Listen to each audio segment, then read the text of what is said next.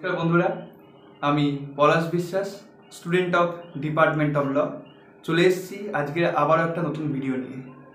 প্রথমে বলে রাখি, আজকের নববর্ষ, তো প্রত্যেকে শুভ নববর্ষ। শুভ নববর্ষের আমার আন্তরিক ভালোবাসা, প্রীতি ও শুভেচ্ছা সবার জন্য। তো আজকের ভিডিওটায় আসা যাক। ভিডিওর থামনেল থেকে নিশ্চয়ই বুঝতে পেরেছ ভিডিওর টপিক কী হতে চলেছে।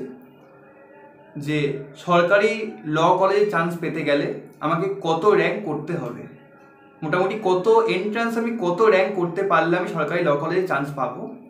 এটা হচ্ছে আজকে আমাদের ভিডিওর বিষয়বস্তু। তোমরা অনেকেই জানতে চাও দাদা আমরা কতর মধ্যে র্যাঙ্ক করব বা র্যাঙ্কের ডিভিশন আছে। তো এই ভিডিওটা শুরু করার আগে আমি বলে রাখি দু হাজার কুড়ি সাল পর্যন্ত মানে যে সাল পর্যন্ত লাস্ট এন্ট্রান্স হয়েছিল, আমরা জানি লাস্ট টু ইয়ার্সে এন্ট্রান্স হয়নি।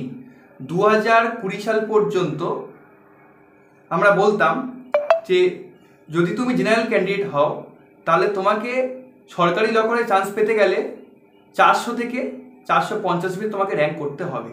এটা ছিল আমাদের দু হাজার কুড়ি সাল পর্যন্ত আমরা বলতাম। কিন্তু একুশ সাল থেকে এন্ট্রান্স তো হয়নি মেরিট লিস্ট বার হয়েছিল উচ্চ মাধ্যমিকের নাম্বার থেকে। সেইখান থেকে ওবিসি এ এবং ওবিসি বি আলাদা রিজার্ভেশন বার হয়ে যায়। দু হাজার কুড়ি সাল পর্যন্ত কিন্তু ওবিসি এ বি কোনো রিজার্ভেশন ছিল না। তাদেরকে জেনারেল ক্যান্ডিডেট ক্যান্ডিডেট হিসেবে ট্রিট করা ট্রিট করা হতো। কিন্তু দু হাজার একুশ সাল থেকে দু হাজার একুশ সাল এবং বাইশ সাল এই দুটো সালে ওবিসিদের কিন্তু আলাদা করে দেওয়া হয়। ওবিসি এ আলাদা রিজার্ভেশন ওবিসি বি আলাদা রিজার্ভেশন এর জন্য জেনারেল ক্যান্ডিডেটের সিট সিট কমে যায়। মানে মেন সিট থেকে কমে যায়। তো সেইটা কত হয়ে যাবে আমি আজকে তোমাদেরকে বলব। তো চলো ভিডিওটা ভালো করে ফলো করো। তো প্রথম যেটা বলব, চারটে টোটাল সরকারি law college Hazra law college Jogeshchandra Chowdhury law college Surendranath law college এবং সাউথ ক্যালকাটা ল কলেজ এখানে প্রথম আছে জেনারেল ক্যান্ডিডেট কত র্যাঙ্ক করতে হবে। জেনারেল ক্যান্ডিডেটের জন্য হাজরা ল কলেজে টোটাল আছে sixty two seat Surendranath law কলেজে ninety four Jogeshchandra Chowdhury law কলেজে সিক্সটি ওয়ান এবং সাউথ ক্যালকাটা ল কলেজে সিক্সটি থ্রি তো টোটাল সরকারি সিটের সংখ্যা হলো দুশো আশিটা টু এইটটি মোটামুটি তোমাদেরকে জেনারেল ক্যান্ডিডেট হিসেবে র্যাঙ্ক করতে গেলে মানে সরকারি ল কলেজ চান্স পেতে গেলে, তোমাদেরকে মিনিমাম তিনশো থেকে সাড়ে তিনশোর মধ্যে র্যাঙ্ক রাখতে হবে। এবার তোমরা যদি কোয়েশ্চেন করে দাদা দুশো আশি সিট আমরা সাড়ে তিনশো র্যাঙ্ক করে কীভাবে সরকারি ল কলেজে চান্স পাবো? একটা কথা বলি, এমন কিন্তু অনেক ক্যান্ডিডেটই আছে, যারা কিন্তু সরকারি কলেজে চান্স পেয়েও ছেড়ে দেয়। নেয় না। অনেকে দূর থেকে আসে, সম্ভব হয় না কলকাতা এসে থাকাটা।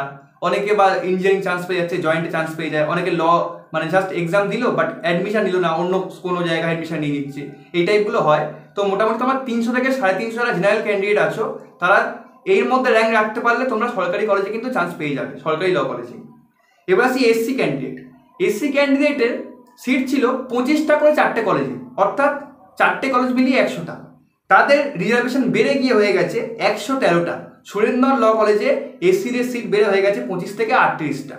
তো এসসিদের রিজার্ভেশন মোটামুটি হাজার থেকে বারোশোর মধ্যে র্যাঙ্ক করলে এসসি ক্যান্ডিডেটরা চান্স পেয়ে যাবে। এসসিরা। এবার আসি এসটি। এসটিদের হাজরা ল কলেজে সাতটা, সুরেন্দ্রনাথে দশটা এবং বাকি দুটো সরকারি ল কলেজ অর্থাৎ যোগেশ এবং সাউথ ক্যালকাটা সাতটা সাতটা। টোটাল সিট হলো থার্টি ওয়ান একত্রিশটা। তোমরা মোটামুটি হাজার থেকে দেড় হাজারের ভিতরে র্যাঙ্ক করতে পারলে সরকারি ল কলেজ কিন্তু চান্স পেয়ে যাবে। দেড় হাজার ষোলোশো পর্যন্ত র্যাঙ্ক করতে পারলে one thousand six hundred rank করলেও কিন্তু এসটির চান্স পেয়ে যায়। এইবার যেটা মেন ক্যাটাগরি আসি ওবিসি এ ওবিসি বি দেখো ওবিসি এ আর ওবিসি বির মধ্যে কিন্তু খুব একটা আকাশ পার্থক্য নেই, বা জেনারেল ক্যান্ডিডেট সাথেও খুব একটা বেশি পার্থক্য নেই, একটু জাস্ট উনিশ আর বিশ। যারা ওবিসি এ ক্যান্ডিডেট তাদের সিটগুলো বলে রাখি, প্রত্যেকটা ল কলেজে এগারোটা করে মানে সরকারি ল কলেজ চারটেতে, শুধুমাত্র শরীর নেওয়াতে কিন্তু সতেরোটা, বা সেভেন্টিন যা বলি। তো তোমরা মোটামুটি পাঁচশো থেকে সাড়ে পাঁচশোর ভিতরে যদি র্যাঙ্ক করতে পারো, তাহলে কিন্তু তোমরা সরকারি ল কলেজ পেয়ে যাবে। ওবিসি এ ক্যাটাগরি বললাম। এবার আসছি OBC B category OBC B category যারা আছো, তাদের সরকারি সিট প্রত্যেকটা ল কলেজে আটটা করে। একমাত্র সুরেন্দ্রনাথ ল কলেজে বারোটা। তোমাদের টোটাল সিট হলো থার্টি সিক্স ছত্রিশটা। তোমরা মোটামুটি চারশো থেকে সাড়ে চারশোর মধ্যে র্যাঙ্ক করতে পারলে তোমরা সরকারি সিট কি সরকারি ল কলেজে কিন্তু চান্স পেয়ে যাওয়ার চান্সটা বেশি। তো এই গেল আমাদের আজকের কোন ক্যাটাগরিতে কোন র্যাঙ্ক করলে সরকারি ল কলেজে আমরা চান্স পাবো। এবার এছাড়াও আরও দুটো ক্যাটাগরি আছে। একটা হচ্ছে ফরেন স্টুডেন্ট ফরেন যারা বিদেশ থেকে অ্যাকচুয়ালি এসে পরীক্ষা দেয়, অনেকে বাংলাদেশ থেকে আসছো মানে নেপাল থেকে অনেকে আসে। যাই হোক, এই ধরনের ক্যান্ডিডেটরা এদের মতো এদেরও রিজার্ভেশন থাকে। মোটামুটি তোমরা দেড় হাজার, দু হাজার ভিতরে র্যাঙ্ক করলে তোমরা পেয়ে যাও। দেড় হাজার ভিতরে র্যাঙ্ক করলে ভালো হয়। এরপরেও একটা আছে, সেটা হচ্ছে পিডব্লিউডি মানে পার্সন উইথ ডিসএবিলিটিস এই ক্যান্ডিডেটরা কিন্তু মোটামুটি দেড় থেকে দু হাজার, এমনকি দু হাজারের পরে র্যাঙ্ক করলেও তারা চান্স পেয়ে যায়। এদের জন্য একটা ভালো রকমের রিজার্ভেশন আছে। তো এই হচ্ছে আজকের আমাদের ভিডিও টপিক তোমরা আশা করি ভিডিওটা বুঝতে পেরেছ। এরপরে যদি কারও কোনো প্রশ্ন থাকে যে কোন ল চান্স পেতে গেলে পার্টিকুলার কত র্যাঙ্ক করতে হবে, তাহলে তোমরা ভিডিওর কমেন্ট বক্সে লেখো, আমি অ্যান্সার দিয়ে দেবো। কারণ ভিডিওটা আমি বেশি বড় করতে চাইছি না। আশা করি আমি তোমাদেরকে সমস্ত ইনফরমেশন দিতে সক্ষম হয়েছি। তো ভিডিওটা ভালো থাকলে অবশ্যই লাইক করো শেয়ার করে দিও, আর চ্যানেলটাকে অবশ্যই অবশ্যই করে সাবস্ক্রাইব করো।